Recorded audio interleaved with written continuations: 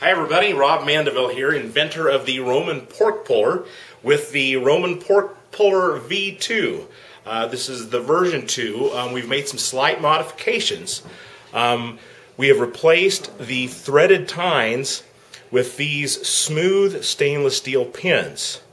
This makes the cleanup process much, much easier. So we're going to take the Roman pork puller insert it in a drill like this.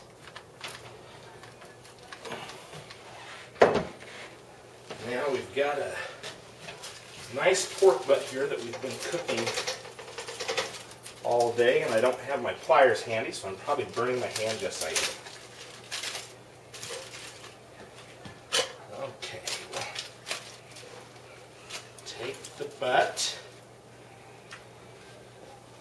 Place it in the pot like that. Then we'll take the Roman pork puller. Give it a few hits.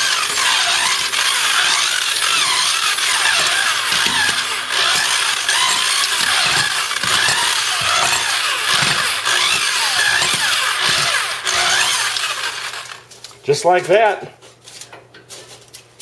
Set this down. Move this foil. Got to save that juice.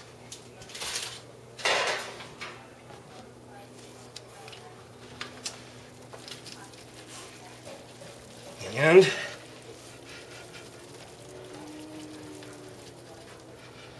there you have it perfectly pulled pork in just a fraction of the time. For more information, go to romanporkpuller.com.